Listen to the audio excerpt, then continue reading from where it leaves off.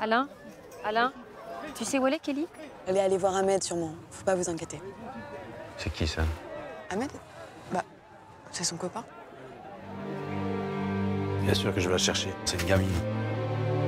Combien de temps ça va durer? T'as été au Yémen, au Danemark, en Turquie, là. Ça t'a servi à quoi?